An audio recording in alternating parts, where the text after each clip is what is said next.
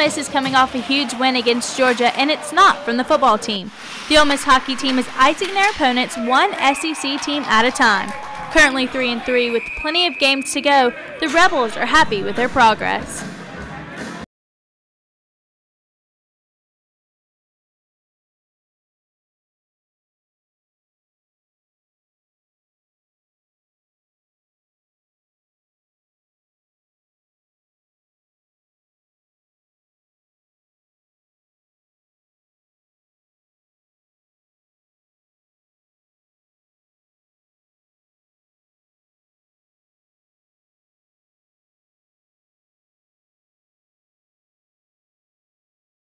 Although some people don't know about them, the hockey team has plenty of fans and offer many things for fans to get involved.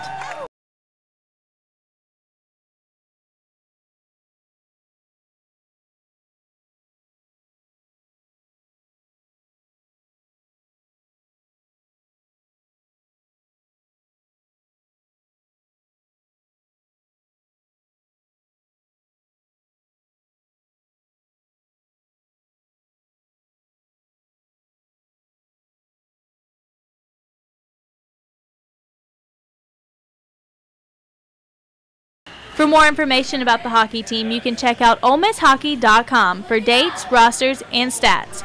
For Newswatch, I'm Rachel Harper.